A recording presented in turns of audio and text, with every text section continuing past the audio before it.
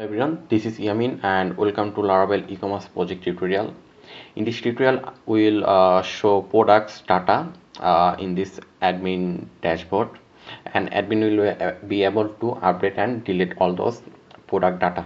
Okay, so first of all, let me just fix uh, one thing is that uh, uh, we are actually adding product over here. So we should call this uh, add product, add new product. Okay, so first of all, let's change this. let's go to our admin then we'll go to directly sidebar.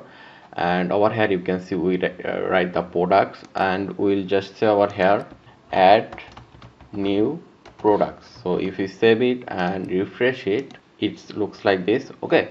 So now uh, we will add another uh, option like this. And over here we are going to say show all products.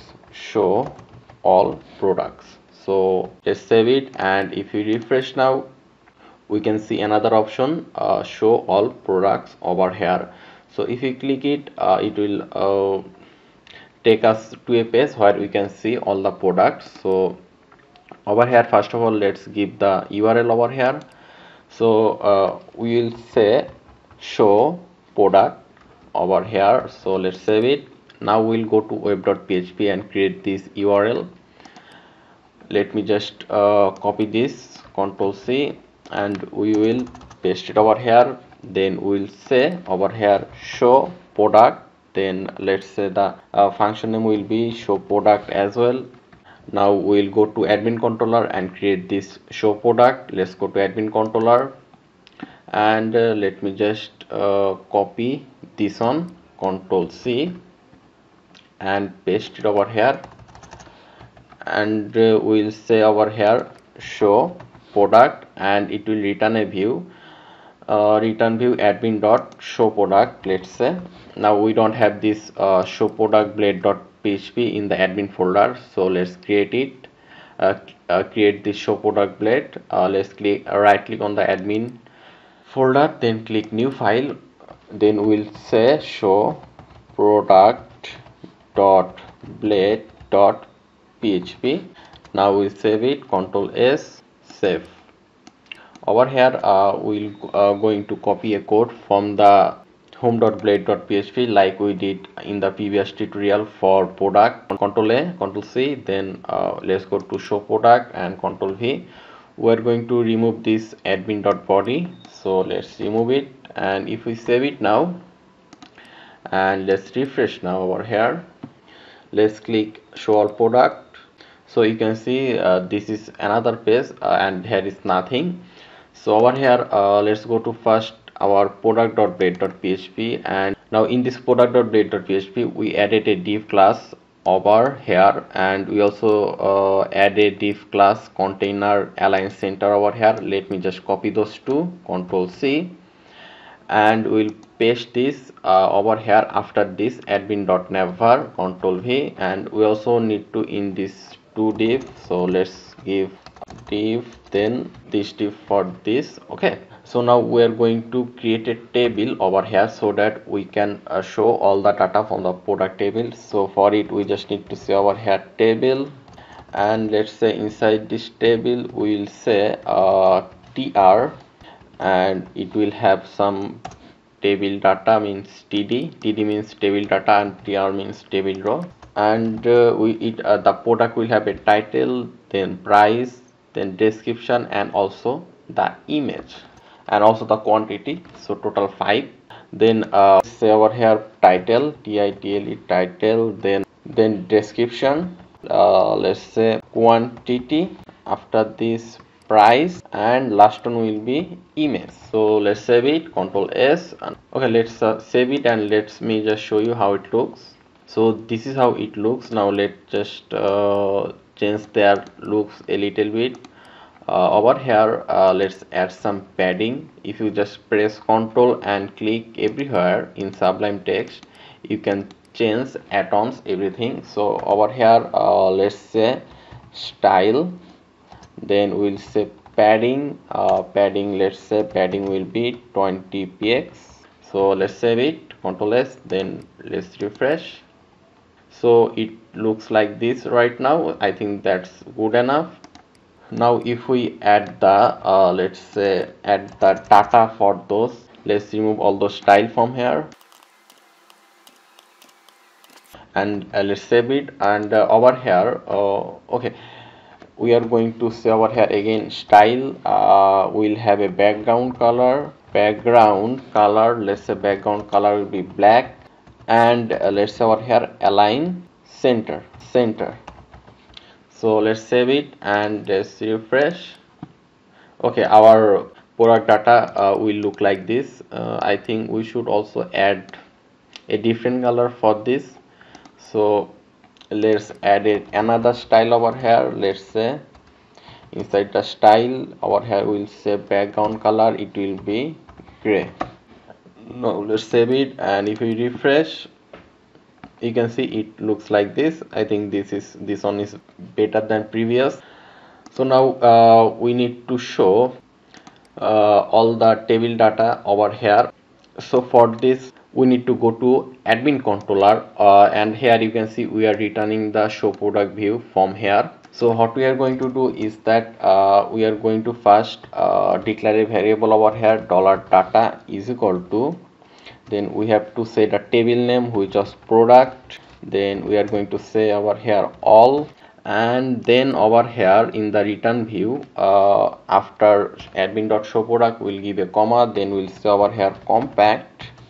Then data so what will happen is that a dollar data will have all the all the all the data from this product table and it will send all the data uh, to this show dot uh, show product view. And we also need to add the show product model over here as well which we already did in the previous tutorial. So let's go to our uh, show product dot blade dot php and over here we are going to say a for each loop at the rate of for each we are going to say dollar data as dollar product and then uh, let me just remove all those uh, things from the td and over here we are going to say to second bracket and then we'll say this on dollar product dollar product this arrow sign. Then we need to say our here title. If you go to our database you can see uh, all the names for the uh, for product table. You can see title price description quantity and image. So after title we will have over here we write description. So let's say over here description. Description then we'll say quantity price and image. Uh, let's say over here quantity the idea quantity price then uh, last one will be image okay we'll add the image a little a little later so let's save it and uh, okay we also need to in this for each loop we'll in this for each loop after this tr. At the rate of int for each. So now let's save it again and uh, let's refresh over here. So here you can see uh, all the all the data from the database over here and we also require to add image over here. So for it again uh, now in order to show image uh, in the td we need to mention over here image tag. Now inside this image tag uh, now inside this image tag we need to uh, we need to give the image source. Now we save the image inside our public uh, product image folder. Here you can see so we are going to say over here slash product image then again slash then we'll we need we'll say product then we'll say over here the name uh, from, from database which is image.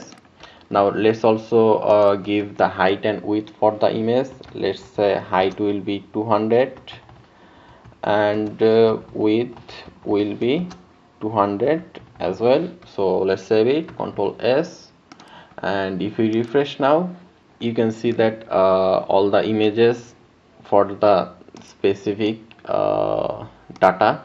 I think the height and width is, width is still too big. We need to make it smaller. So let's make height uh, equal 100 and width equal 100 okay let's say over here 100 px. So now let's save it and refresh. Okay now this is better I guess now I think that text should be in the center uh, the align items didn't work. Let me just remove this and outside this style let's over here align. Let's say now center uh, let's see if it works. Control s and refresh. Okay now this works and uh, on the one more thing is that there is no gap uh, at the end after this image. Uh, so let's create a gap over here. So let's go to our code. And we'll uh, add a style over here at the first div. So let's our here style and we'll say over here padding. Let's say padding then bottom. Bottom uh, double T padding bottom. Let's say it will be 30 px and if we save it now and uh, if we refresh and if you go down you can see that uh, there is a little bit gap over here. You can increase this gap by increasing the padding uh, bottom value.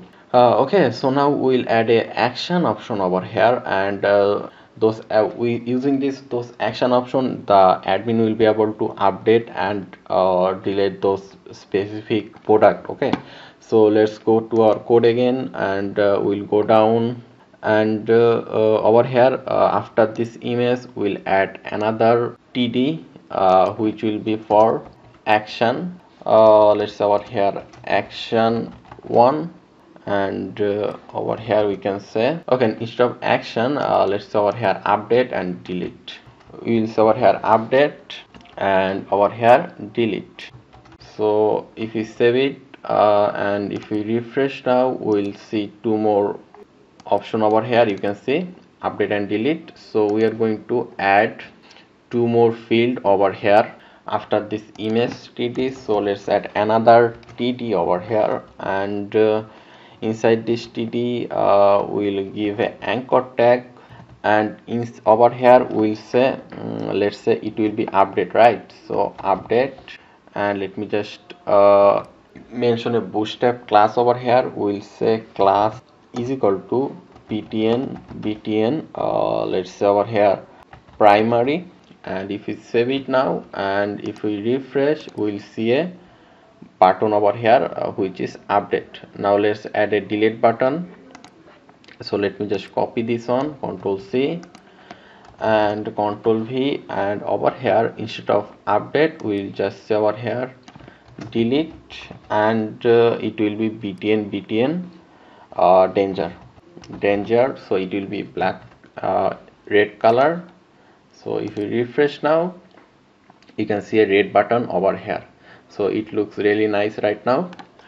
So first of all we'll do the uh, delete part because it's the most easiest one. So let's go to our uh, code again. And uh, over here you can see a href. Inside this href we are going to say url uh, url then inside it uh, we need to first mention a name. Let's say delete product.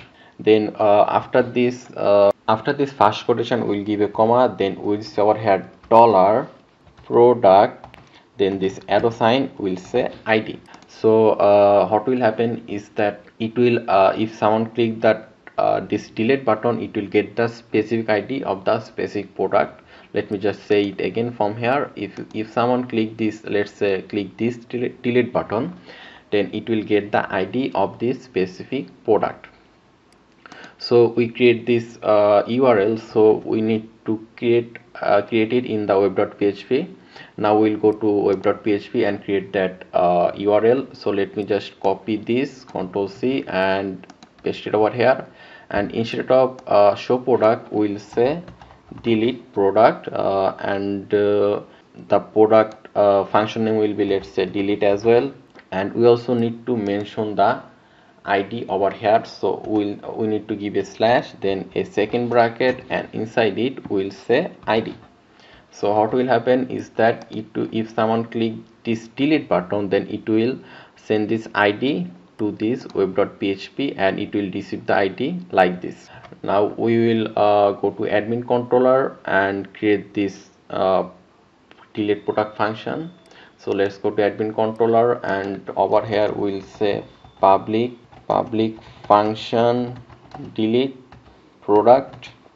And we need to cached id over here. So we will say over here dollar id so now we will be able to cache the id that we send from the web.php now we'll give two second bracket and inside it uh, we are going to say over here first of all we need to declare a variable just like before uh, we'll say again dollar data you can declare any variable you want then we'll say product uh, which is our table name then we'll give to double clone then we'll say find dollar id then we'll say dollar data. Then this arrow sign will say delete. Then we'll just say return direct this arrow sign back.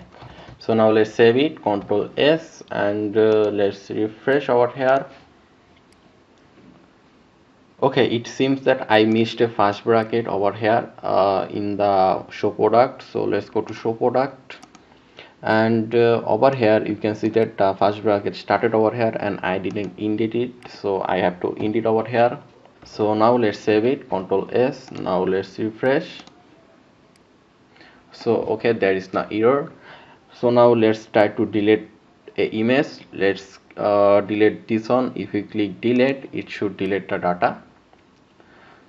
So over here you can see that there is no uh, that uh, images over here so we should also uh, like show a, a, message option over here uh, like we did in the previous tutorial that uh, product deleted successfully.